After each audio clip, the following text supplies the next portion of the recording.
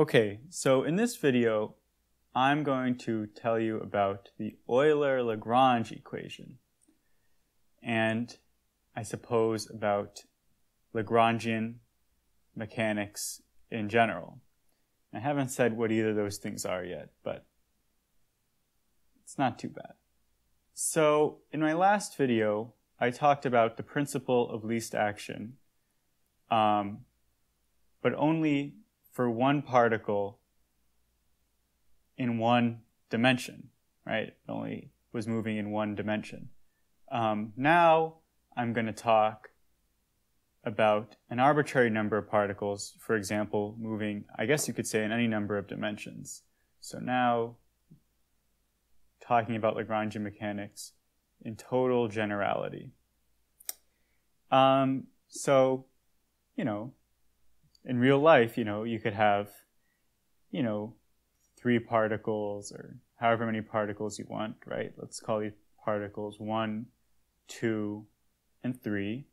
And each particle can have some position coordinates, right? So maybe particle one has coordinates x1, y1, and z1. Particle two has coordinates x2, y2, and z2. And particle three, as you might have guessed, has the coordinates x3, y3, and z3. So here we really want to keep track of nine numbers, right?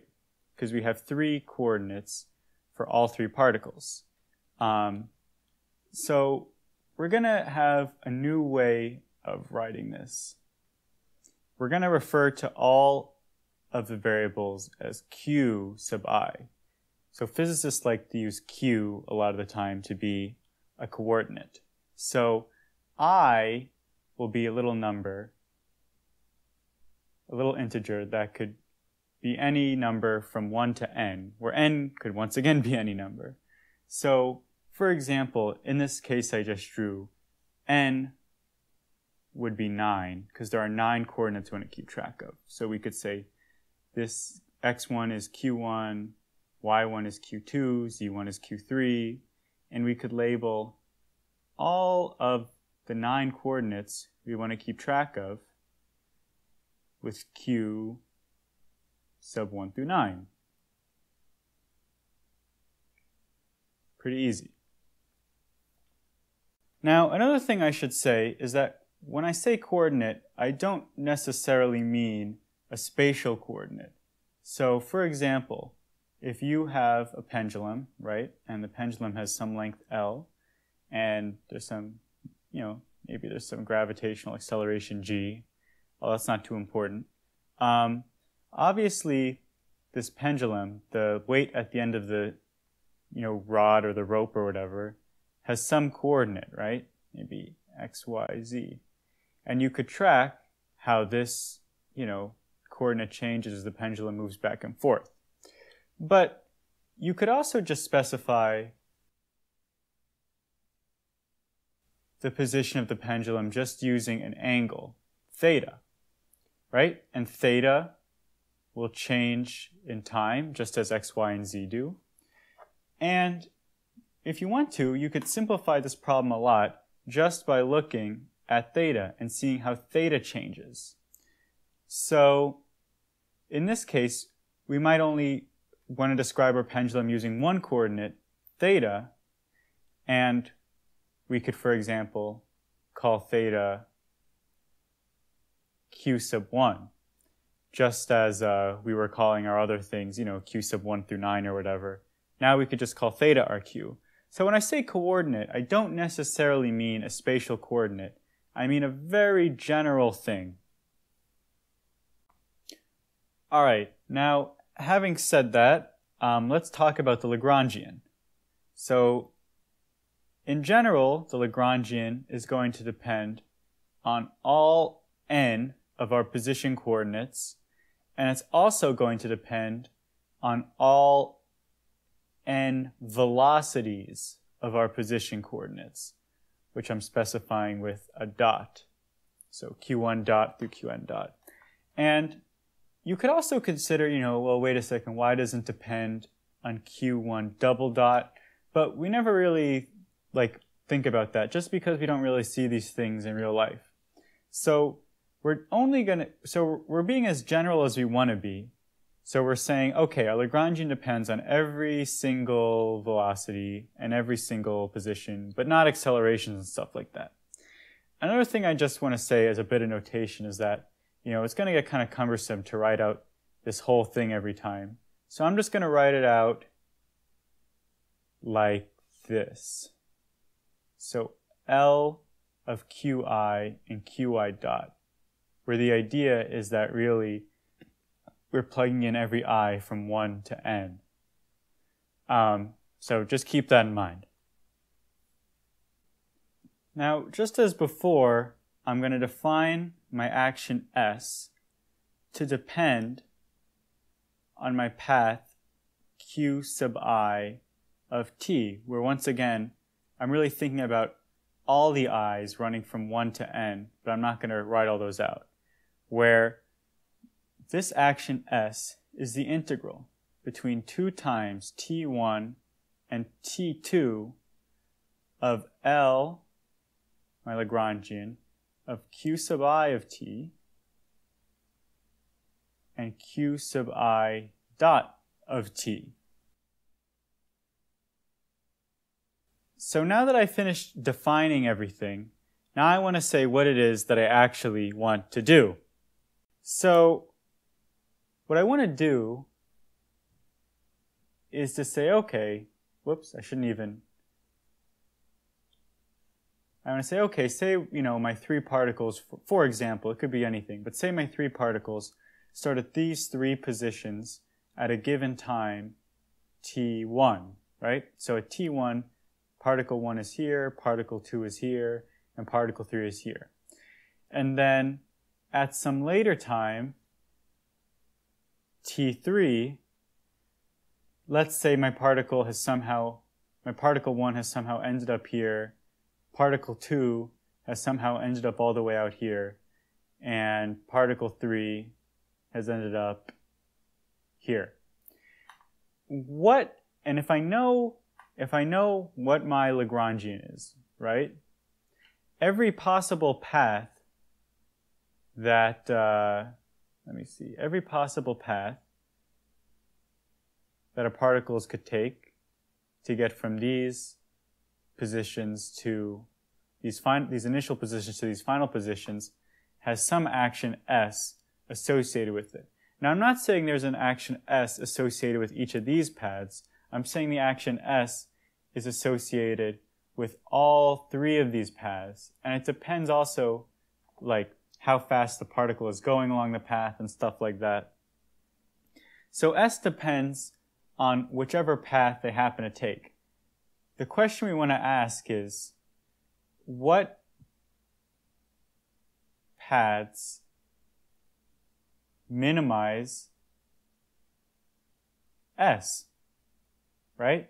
And maybe the correct path, I don't know, what do you think the correct path might look like? Maybe for some sort of crazy forces, it might look, you know, you know, three might get swinged around, swung around and stuff like that. There might be some correct path that minimizes S. Or, you know, as I talked about, it could also maximize S. Or, really what I'm trying to say is, what paths are stationary? for our action S. So let me let me clear up my uh, drawing a bit. So what do I mean by stationary? Well, if you recall, um, stationary means that, actually let me use my familiar color green. Stationary means that for all nearby paths, paths that are almost exactly the same as, you know, let's say this green path here, um, they have almost the exact same action S. And what do I mean by almost the exact same action? Well, I mean that if we write our action S as like S plus some little change, whoops, plus some little change, delta s, where this is our term to the first order in the variation, delta s equals zero. And if you're not totally clear on what I'm saying right now, I talked a lot about this in my last video. But basically, we can write all the nearby paths in terms of some little number um, times, you know, a little, um, you know, variation of the path. And in terms of that little number, if we keep it to the first order, we want this thing right here to be zero. And that will mean that our path is stationary. And in order to minimize s, we want our path to, be stationary. Or in order to maximize s2, we'd also want it to be stationary. So that's all we're trying to do. We're, in other words, we're trying, we're trying to do the same thing that we did in the last video. The only difference is now I'm going to do it in more generality. All right. So what is the plan of attack? What are we going to do? What is the plan? Okay. The plan is to expand. You know, this is just following what we did in the last video is to expand the action in terms of the tiny variation in our path, and we're going to throw out uh, higher order terms. We're only going to keep it to the first order in our variation, right? That's the first thing we're going to do. And then the second thing we're going to do is we're going to use this to find delta S and then set delta S equal to zero in order to find our stationary path, right? Our stationary path is or a stationary path is one with delta s equal to zero.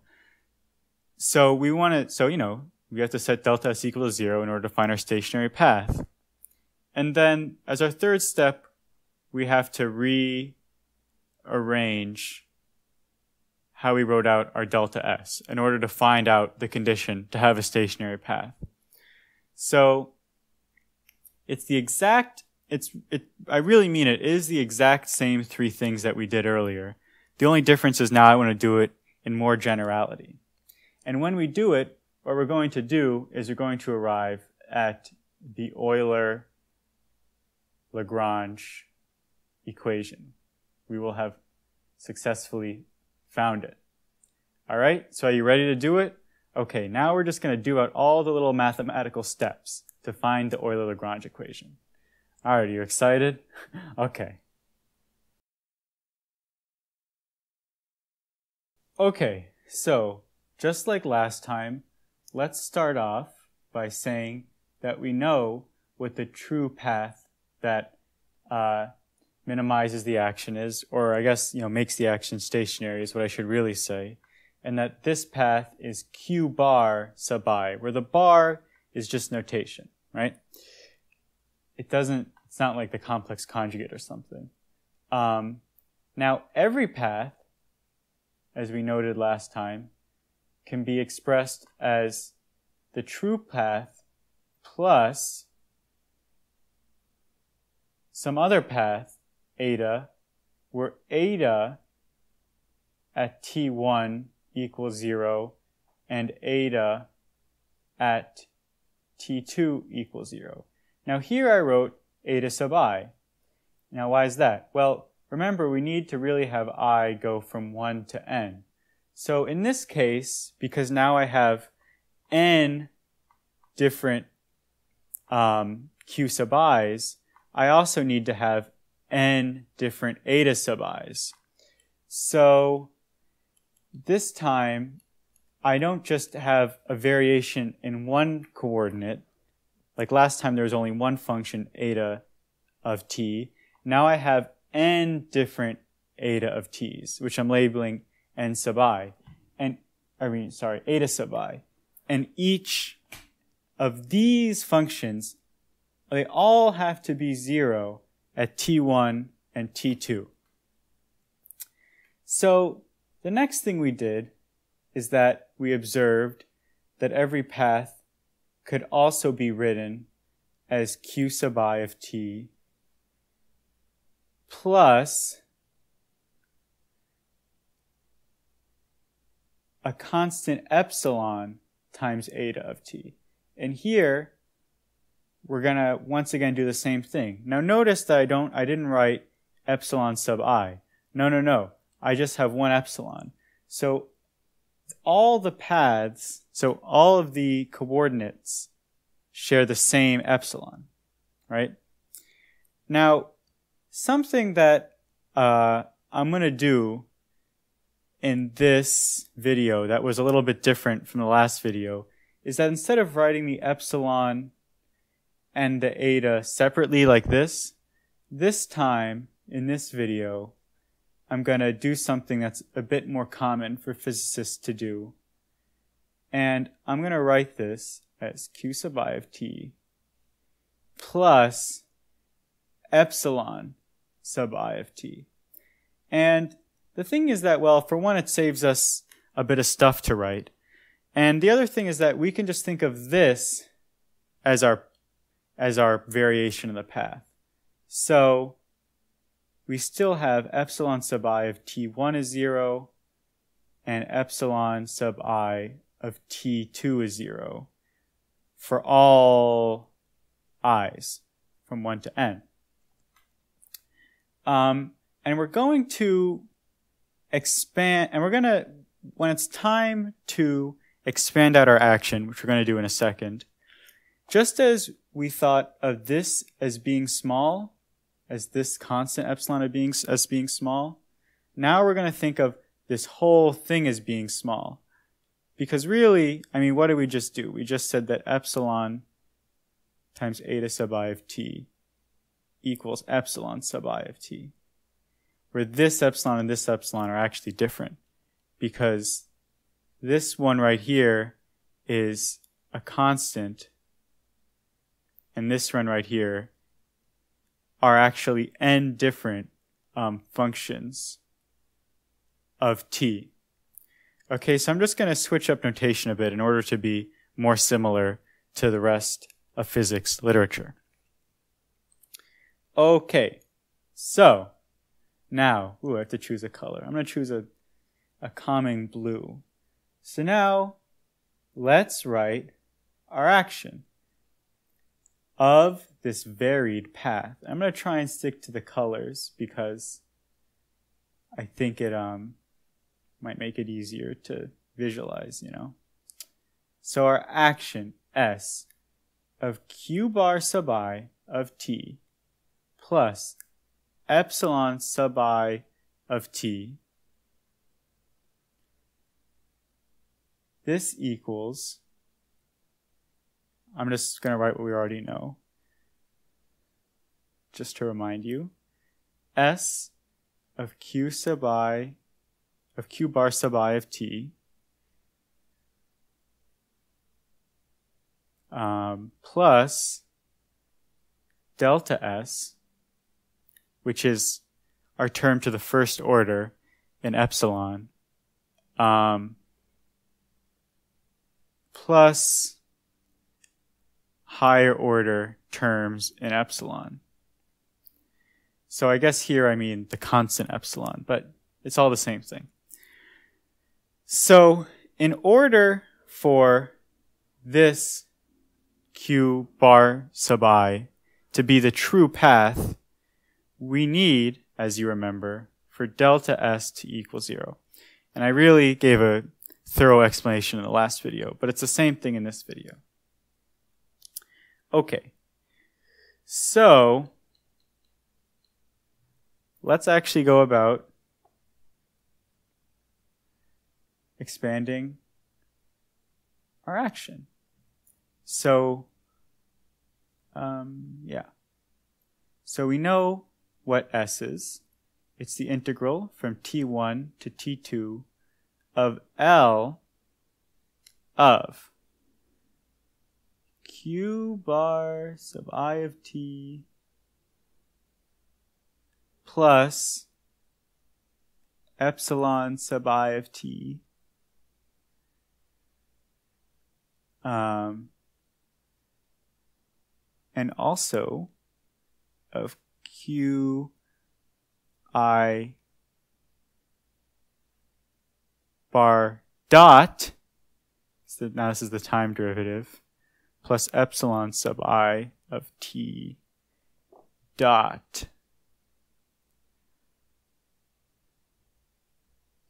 all right so this is just plugging in um, this path into what our action is here and here. All right. Now the next step is a little confusing and it confused me for some period of time. So I'm going to, how I'm going to do this is I'm first I'm going to write it out and then I'm going to justify it. So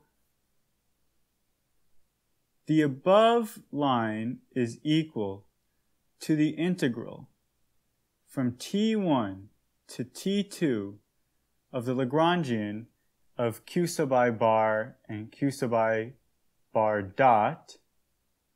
All right, now check this out, plus the sum from i equals 1 to n of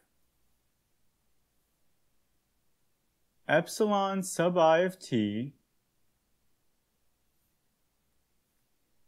partial L over partial Q sub i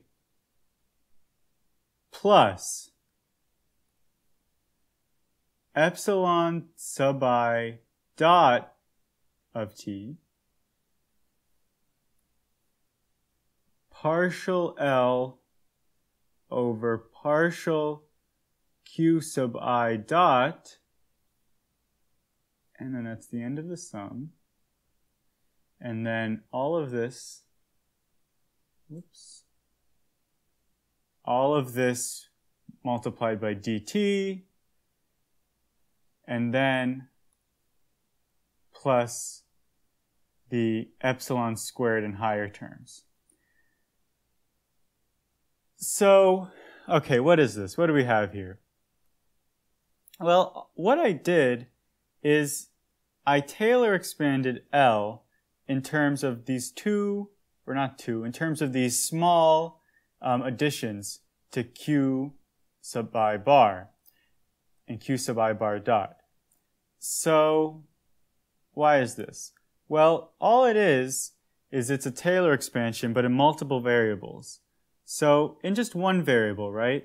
If we have f of x plus delta x, where delta x is supposed to be small, to the first order in delta x, this is about equal to f of x plus delta, oop, delta x times f prime of x. Likewise, we can do the same thing if, if f is a function of two variables x and y. So say f is a function of two variables, x and y. I want to find f of x plus delta x and y plus delta y. Well, first we can just think of it as a function of x and just adding little delta x on. So just copying the line above, this is about equal to f of x comma y plus delta y plus delta x, and then we're really thinking of this as just a function x for the moment. So it's just partial f over partial x, and then evaluate it at x comma y plus delta y. Okay, then the next thing is that we can think of all of this as a function of y. So here we see y plus delta y here and y plus delta y here. So first, let's expand out this right here. So this is about equal to f of x comma y plus delta y, whoops, delta y partial f over partial y of x comma y. And then we got to deal with this term right here. So we write plus delta x times delta f over delta x evaluated at x comma y, right? Plus delta x delta y partial, um, I guess, well, partial, uh, well, the partial squared of f over partial, well, partial y and partial x evaluated at x comma y. So I guess actually I should really write this uh, like this. Oops. And then bring this down here. And then, um, sorry, I guess that's, I think, I guess I'm being a little bit silly, but, uh, you know, whatever. Okay, so now notice that if delta x and delta y are both small, um, then this term right here we can can't, we can just cross out because it's smaller than we care about. So really, what we did here is we expanded. Well, we expanded um, this right here in terms of just f of x and y and then we just Taylor expanded x and y individually. Now this is really what happened here. This is really what happened with this term. So we had to expand out two n variables because this counts for n variables and this counts for n variables. Even though we didn't write them out completely, it still counts. Um, so we have to sum over all two n variables. We're here summing from one to from 1 to n, and here we have one of the variables, here we have the other one of the variables. Because epsilon sub i and epsilon sub i dot are both small because they're both, you know, tiny little variations. Um, and if you're wondering, you know, just if you really care about analysis, right, and you're wondering like, oh, wait, why is like this necessarily small just because this is small? Like, you don't necessarily know that the time derivative is small just because the function's small. Well, I'll just remind you that um, that we really defined epsilon sub i of t equal to epsilon times eta sub i of t, um, where this was a constant, this was a small constant, and this was a function of t. And then to dot this, we just dot this. But this is still just a small constant, so it, it all remains there. So analysts conquered. Okay, so yeah, so I just Taylor expanded this whole thing in two n variables, and we le- left over all the epsilon squared and higher terms. Okay, so that's that's uh, one of the big confusions about this step. Um, hope it's been explained. The next, uh, another thing I want to say is what's really going on with this and also with this, right? What is partial L partial Q sub i? Well, let me, ooh, let me use a different color. Let me give you an example. So, in the one particle case in one dimension, we had L was a function of two variables, x and x dot, and it was equal to 1 half m x dot squared minus v of x. Now, partial L over partial x, you might guess, is just, well, that's just negative v prime of x. If you think that this is an independent variable. You just, you just, I'm, I'm just saying this is what you might think, and you actually be right. Okay, partial L over partial x is just negative v prime of x, where v prime, but v prime is the derivative of v with respect to x, right? And then partial L over partial x dot would be equal to, well, you might look at x dot and say, well, that maybe is its own independent variable. Um, and in this case, you'd be right.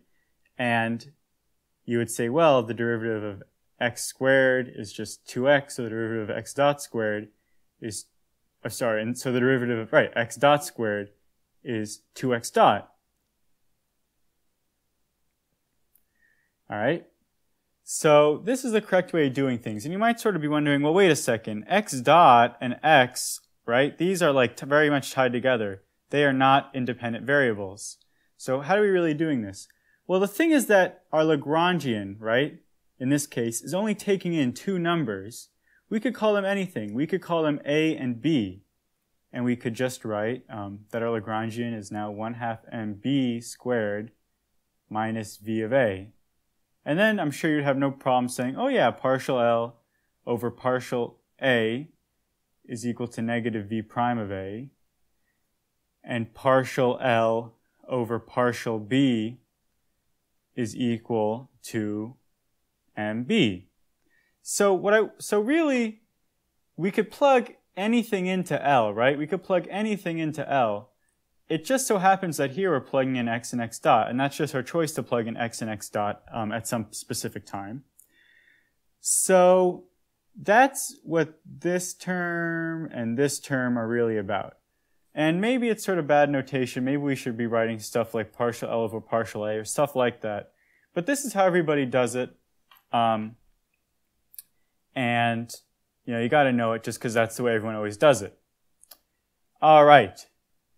Now, the last thing uh, I want to say about this is that in every other term, in every other step, right, I had some green. I had some Q bar appear in like this equation and this equation. Um, but there doesn't seem to be a Q bar in this term. I mean, there's one here, but there's not one here. And it seems like it should be here. And the reason is that if you really want to be like totally clear, we should really be saying that these two things, partial L, partial Q sub i, and partial L, partial Q sub i dot, should really be evaluated at Q bar. Because, you know, sorry, wait.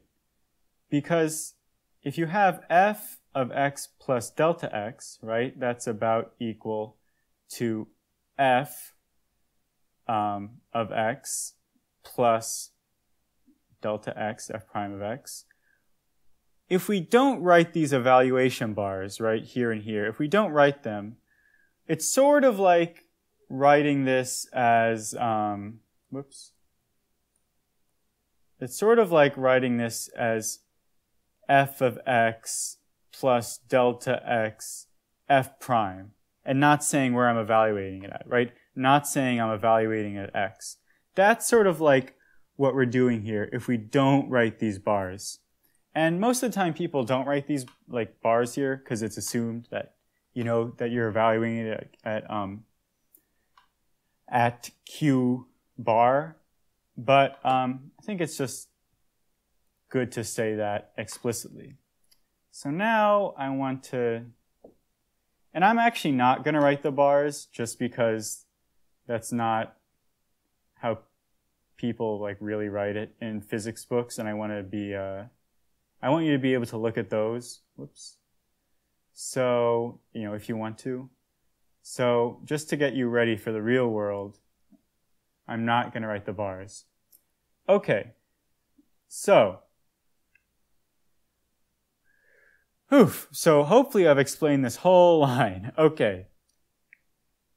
Now, notice that, well, I guess I'll write it one more time, just a little bit differently. This is equal to the integral of,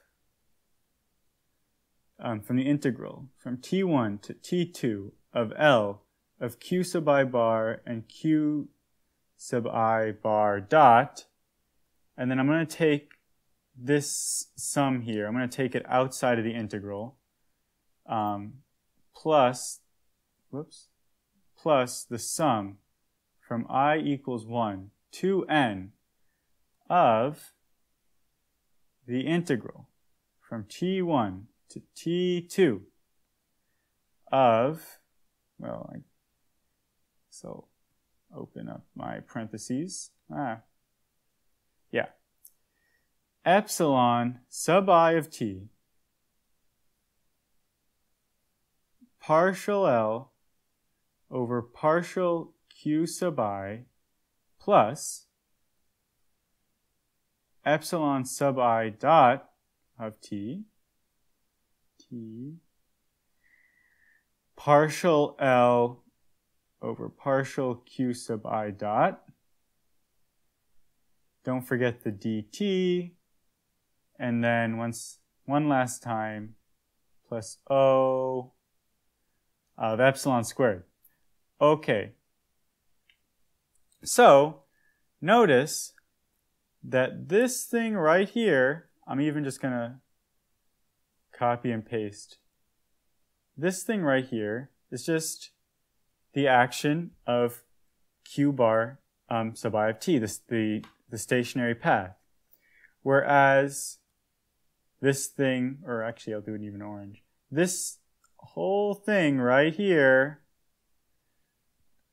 is equal to I guess I could have just written it, but it was kind of fun to copy it.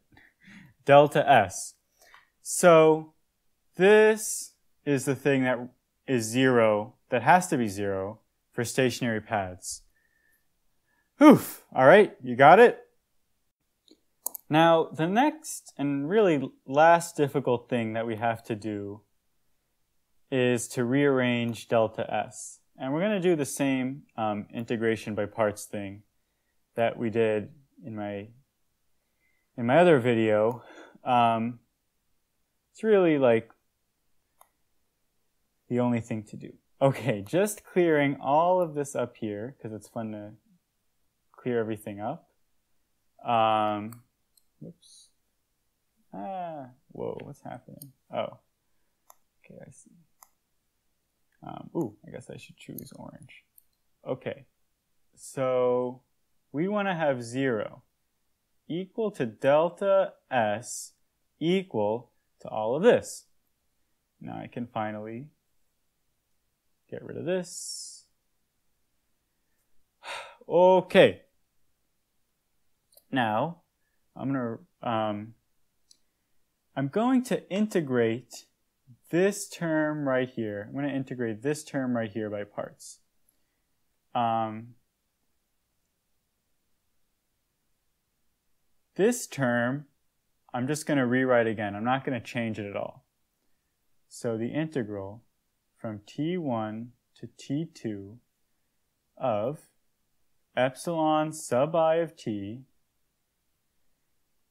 partial L partial q sub i dt. And now I'm going to integrate this thing by parts. So the very first term is just epsilon sub i of t partial L over partial Q sub i dot evaluated at T1 and T2. And then the other term that comes from integration by parts is the integral, ah, very nice, from T1 to T2 of epsilon sub i of t, and then d dt of partial L over partial q sub i dot, and then dt. Okay. Now, I hope you remember that we had to have that epsilon sub i of t1 equals 0 and epsilon sub i of t2 equals 0. So this term right here is just 0 minus 0 and it goes away. Excellent.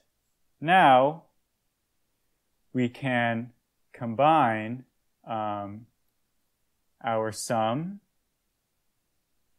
Okay, so this all equals the sum from i equals 1 to n of the integral from t1 to t2 of epsilon sub i of t times partial L partial q sub i minus d dt partial L partial q sub i dot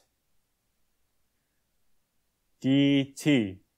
And now this whole thing has to be equal to zero for any epsilon, for any choices of the n functions epsilon sub i of t, as long as epsilon sub i of t1 uh, and epsilon sub i of t2 are zero. Um, so what does that mean? Well, let's use a bit of logic here. Um, and it's not hard to guess what it is. But let's just call this whole thing, I'm just going to call it um, something. So if there were, and notice that something um, has like, there are n somethings, right? So I should really, because there is an i right here, so I should really call it something sub i. So if there were some i and some t, because really this is also really, this is really a function of t, right? Even though we didn't really write it like that. So if there is some i and some t such that something sub i, um, I guess I'll write it like this, you know, because just to show it's the same thing as this, such that something sub i was not equal to zero, then we could choose um, our epsilon sub i's such that the whole sum, ooh, that's not how you spell whole, such that the whole sum wasn't zero. So how do I show that? Well, say it would be really easy. We would just say, okay, um, here's a graph. Um, here's t sub 1, here's t sub 2, and right here is the specific t. That's the sum t at which our specific something sub i isn't equal to 0. So all we have to do is choose our epsilon sub i of t to just be a little bump on this, the bump up just a little bit at that particular t, and then have all the other epsilons just be equal to zero. All the ones that weren't equal to this i, right? So, therefore, because um, we're able, so therefore, there, so by contradiction, there can't be any i and any t such that this thing in parentheses is ever not equal to zero. So therefore,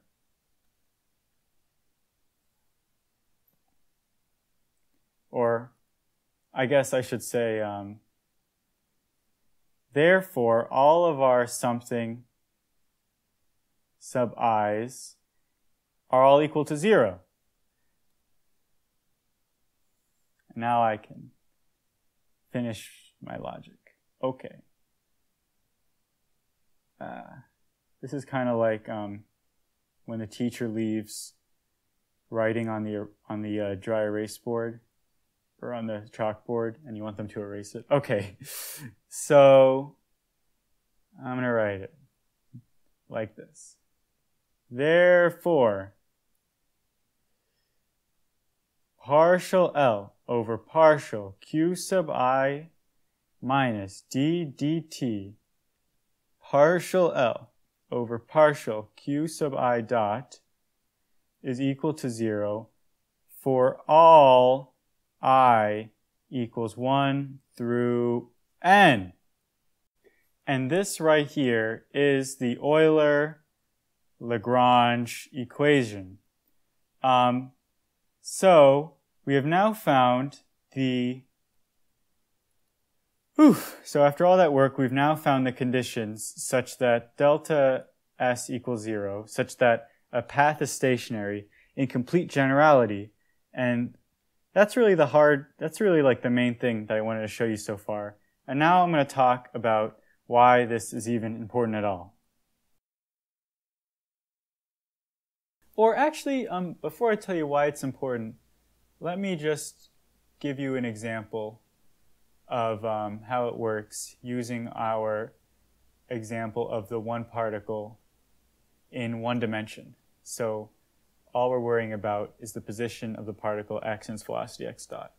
So, you know, partial L partial x is negative phi prime of x, and partial L partial x dot is equal to m x dot.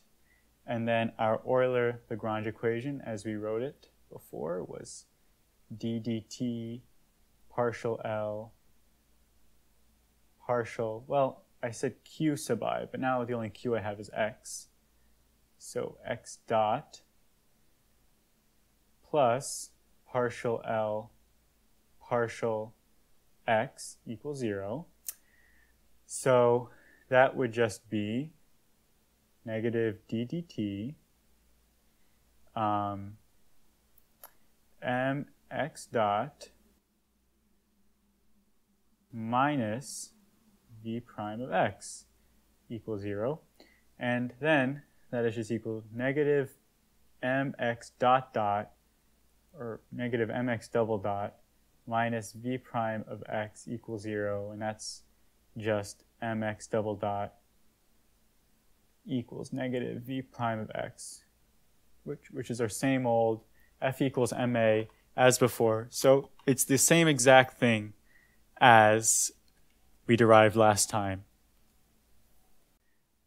Now the final thing I want to talk about um, is why is this important, right?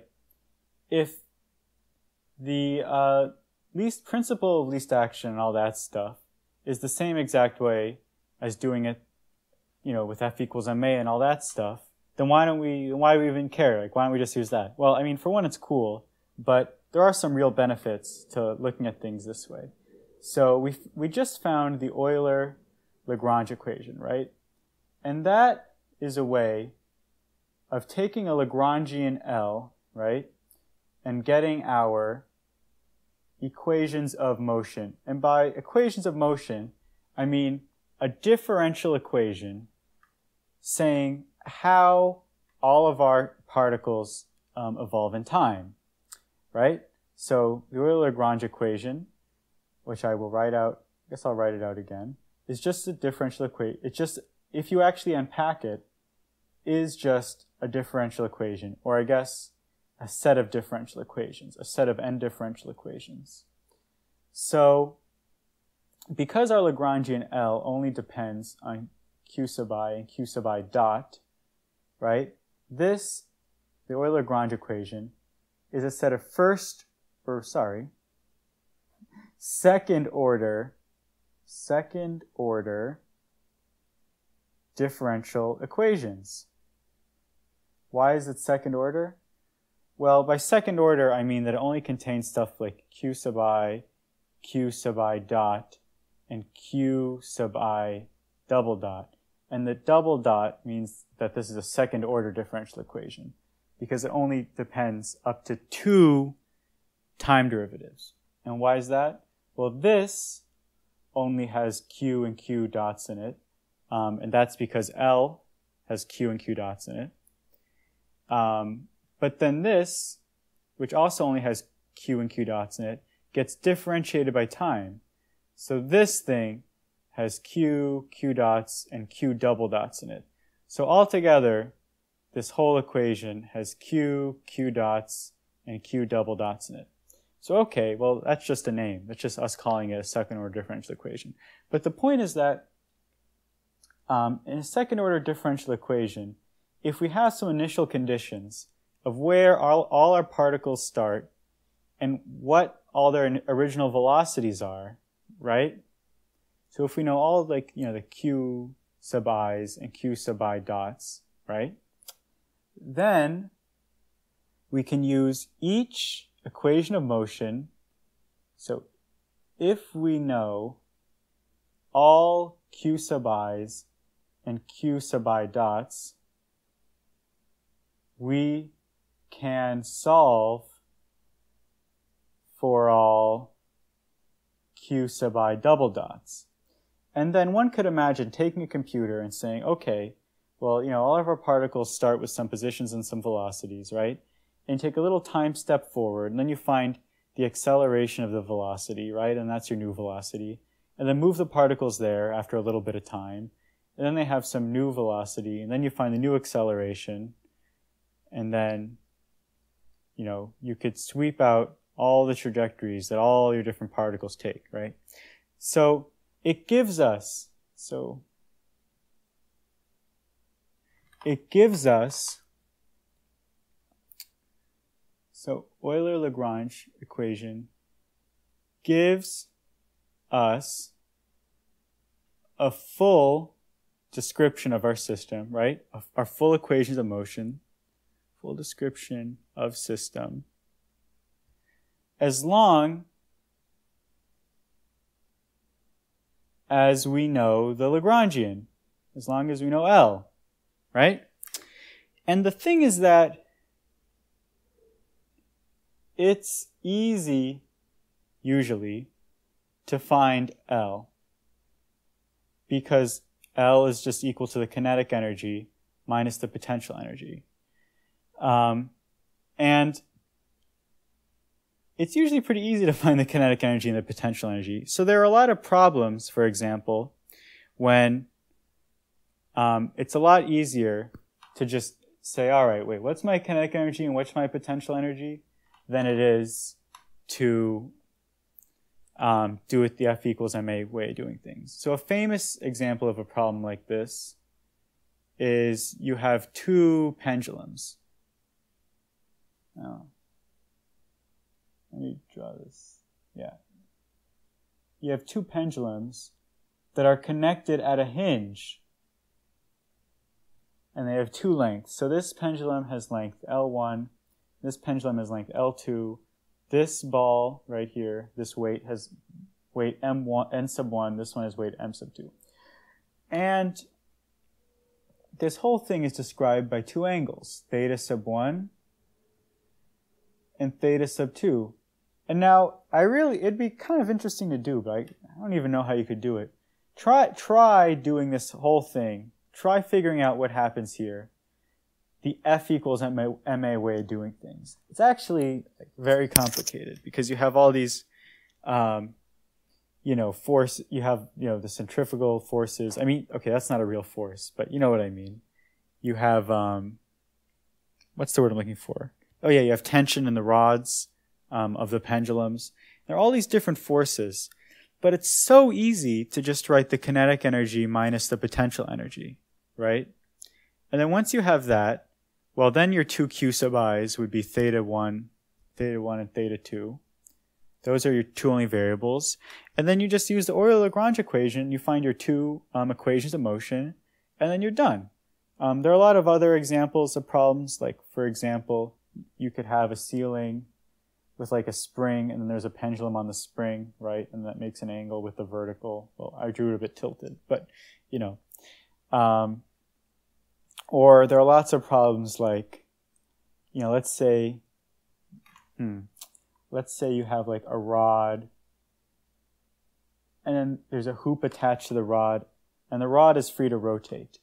And then on the hoop, there's a bead and the bead you know, has some angle on the hoop. So the hoop can spin and the bead can spin.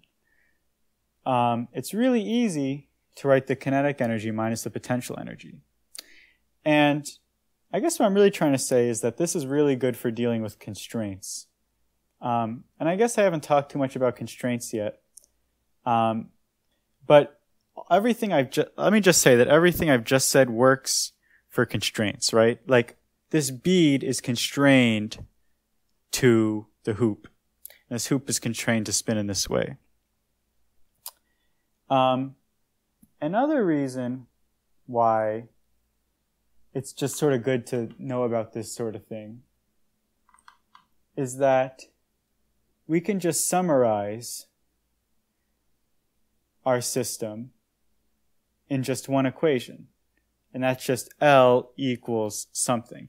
So whenever, when the moment we say L equals whatever L is, we're totally done. We don't have to write out all N equations, um, equations of motion. We can just say L equals this, and then everyone looking at me, oh yeah, yeah, L equals that. And you don't have to do all this, this complex explanation of whatever your system is. Um, and I guess one other way, one other thing is that when you think in terms of Lagrangians and stuff, you can look at the symmetries of your system, which I'm going to make a video about um, soon. You have Noether's theorem. And that's pretty cool. I'm just going to say like, ooh, that's really cool. Um, so there are a lot of benefits to looking at, to doing things this way things. Um, to looking at, to looking at, it's been a long video, at looking at things this way. And I guess I ought to just say that um, this way of looking at things is often called Lagrangian mechanics. So if you've successfully watched this video, you can say that you know what Lagrangian mechanics is. So uh, yeah, I hope you learned uh, something good. And I hope you uh, look up what Noether's theorem is, because that's pretty cool too.